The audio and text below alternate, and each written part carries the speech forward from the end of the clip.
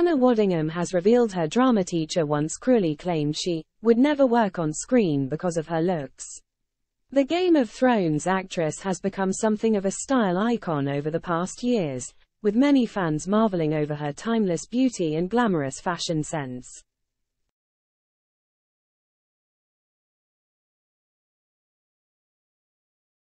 Hannah, 49, has opened up about an interaction she once had with a drama teacher that gave her a complex for years, in a new interview with Strictly Come Dancing star Michelle Visage, 55.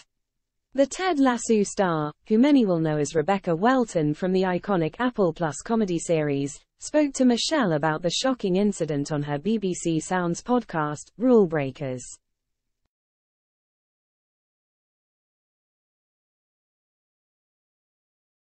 The National Treasure, who hosted the Eurovision Song Contest in Liverpool last year, spoke about how both her head teacher and drama teacher had tried to discourage her from a career on stage and screen.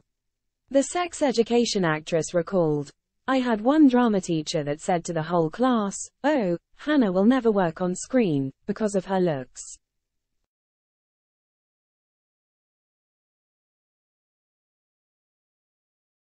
And I thought, I will do.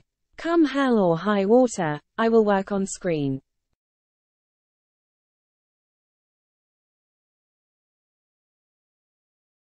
And it gave me a complex for years, and this is why in my Emmys speech, I made a point, she continued.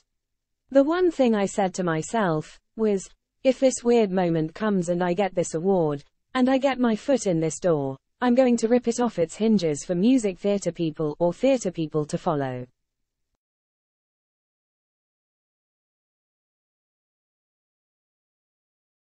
As well as enjoying a successful career on screen in recent years, Hannah previously appeared in several high-profile West End shows.